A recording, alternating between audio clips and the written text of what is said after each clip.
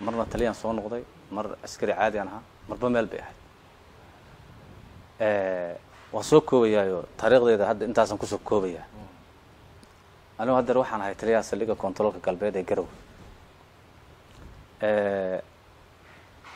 waxaa hadda aan ka hadlayo xanuunkan waxay ugu dhacay waxay ugu dhacay laba labadii kun lix iyo tobankii bishii sideedaad ayaan gabadhaa guursaday gabadha aniga xanuunkaan ka qaaday doono waxaana iska helay xanuunka labiyo tobnaad isla sannadkii gudihiisa marka waxaan rabaa intii ka dambeysay iyo siday wax u dhaceen inaan inaan maaratay warbaahinta la wadaago ummadda soomaaliyedna ay dhegeystaan. Qofkana waxaa fiican in maaratay dee wuxuu u nool yahay dadkiisa iyo dalkiisa iyo ummaddiisa. Marka marna ma doonayo in aniga wixii soo gaaray digniin inay noqoto oo kale. Kow kuwa hadda qabo oo kale siday fursad u heli lahaayeen. Yaa kaloo fursaddii ka bannaan tahay. Macnaha haddar waxaan aniga tusaale ahaan haddaan soo qaato dadka qaba xanuunka waxay dhan yihiin koo iyo toban kun iyo toddoba boqol marka haddaan marka anigu taarikhdeeda ka soo hadlo gabadho waan guursaday waa dhistay waan aroosay magaaladan dhinac ka deg adigu muddo saddex bilood markaan qabay ayaa xanuun baan dareemay. Jirka ah. Oo nafsiyan oo maaratay dee anigoo maaratay cuntadii soo celinayo xanuuno badan baan horta dareema haddii xanuunkaas muddo aan sidaa ahaa waxyaaba badanna waan arki jiray oo maaratay gabadha oo dawa cunaysaan arki jiray marka marna uma qaadan inay xanuunka iyadu la noosho. Ana marna uma qaadan. Laakiin waxaan u qaatay waxyaabo kale waxbaa igu soo dhici jira kale. Waxaan arkay maalin baan hataa baaray fiiriye kaniin baan arkay. Kaniinka muxuu yahay baan idhi waxay tiri waa xasaasiyadda loo cunaa. Weligeyna ma arag kaniin aan arkay maayo. Marnana ma soo dhigan cudurkaanaaba meesha maartay sidaa macnaha fahan la'aanta noogu qabay baan waxyaabaha ay keenay bay ka mid tahay inaan t v imaado soo fadhiisto ummadda islaamka o dhan u sheego. Haddii saa dhacday markii anigu malahaygi waxay noqotay inaan is iraahda ma uur bay iska ilaalinaysaa ma wax saasaa jiro arrimo noocaas oo kale xagga dhinaca kalean u qaata marna uma qaadan. Bishii labiyo tobnaad ma habeen habeenada ka mid ah baa xanuunkii soo ritay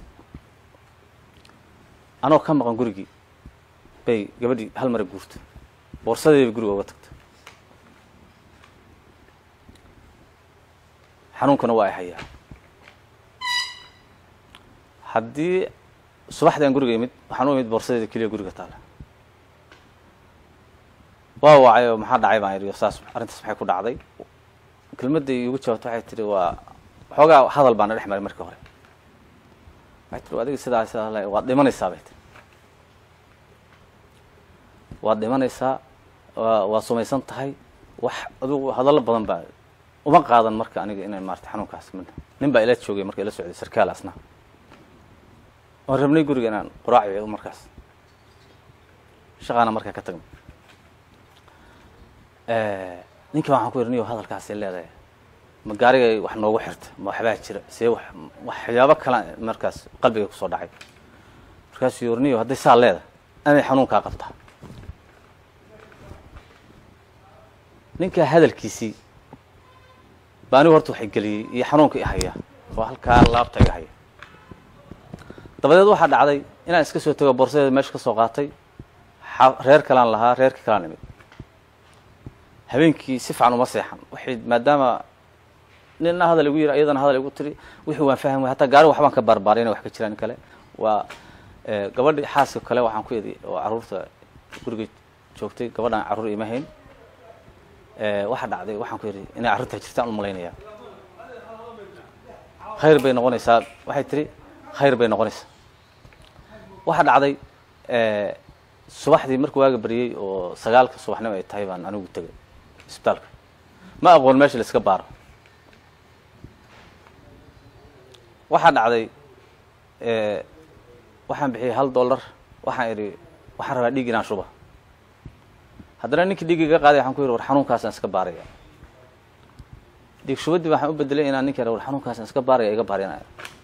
Waayahay buu yidhi mishinkii la aaday. Nin garanayuu ahaa dhalinyaro ah.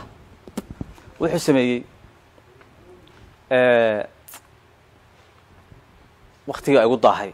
Si aan ku soo noqday waan fiiriyey. Wuxuu waxaa samaynayaa ninkaas dhalinyarada dad iga dambeeyey oo dhiigga laga qaaday.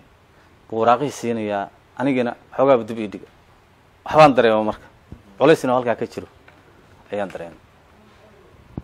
Marka waan u tegey. Waxaan ku yidhi war niyo nin iimaan kale ama ahiye qof islaamaan ahay. Wax kastana qadarta rabbina waa ku kalsoonahay. Maxaa hadday wax jiraan maad maad ii sheegtid.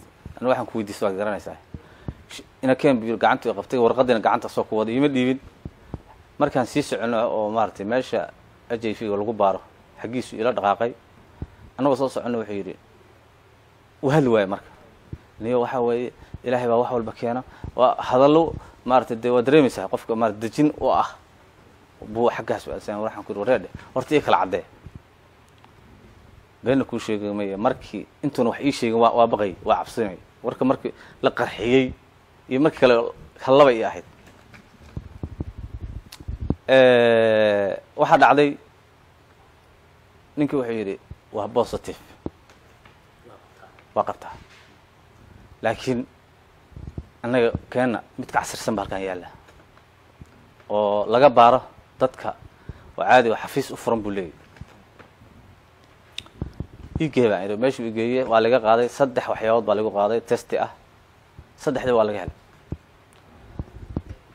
Dadkii waxaa la yidhi saan weeye u kaadi waa adigu markii maskaxdeeda waxa ku soo degdegtay laba maado gabadhaan magaaladay ku jirtaa habeen hore bay guriga ka tagtay magaaladay weli joogtaa may tegin iyo xaaskii kale.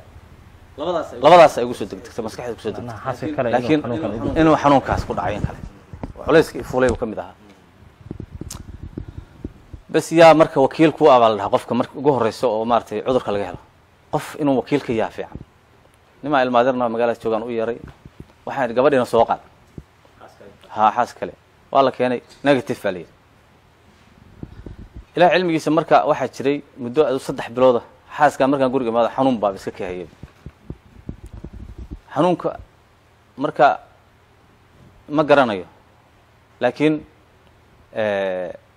saddexdaa bilood gabadhaan ismaan aragba laakiin intaa qabay dhowr jeer baan is aragnay. Waxaa niyadda markas idhi waa kolley waa in laga helayo negative baa saddex bilood ba arag gabadhaan waxaa dhacday negative markii la yidhi gabadhii xaaskaygii carruurta ay dhashay hal kelmaday tiri.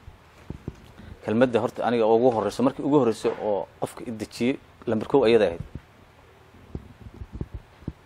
Waxay tidhi shirow dadkana ma dhiftid ummaddana dhib uma horseedid wax wanaagsan baadna ka shaqaysaa inta badan. Intaan kuga aqaana anigu waxaan u malaynayaa bay tihi in ilaahay ku daraan mayee isdeji xanuunka a qabtid ani meel igama maqno. Waxaa igu soo degay marka qaab si automaticala markiiba waxaan xasuustay markii suuradda oreysa nebi maxamed lagu soo dejiyey iqra lagu soo dejiyey ayaa waxaan xasuustay kelmaddii khadiijo ku tiri. Ha bes salaad sunaa tukaday waxaan sameeyey gabadhii waan iska diray anigu waxaan sameeyey marka warqad message oo furiina baan u diray.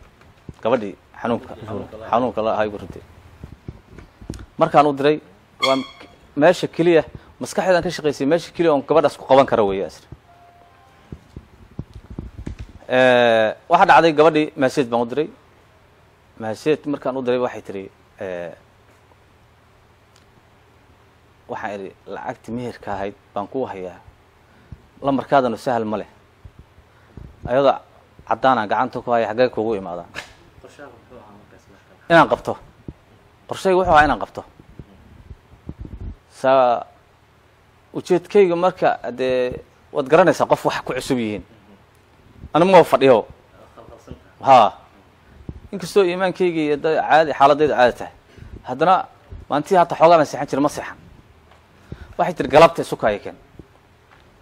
Halkaa iyo halkaa.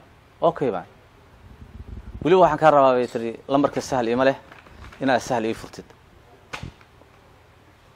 Waa yahay baan idhi waan soo tegey. Gaari baan soo kaxaystay askari baan soo kaxaystay. Si iyadoo maarata ina noo ciidan la diriray markii aragtay gaarigii soo gashaba warqaddii furinka waa haystaa soo ma ahaa ina keen si aan u sii wada stationka dhexaan ku tuuro. Stationka markaan soo geliyay iyadaa kelmadda igala horta waxay tahay halkaa maxaa noo soo gelisay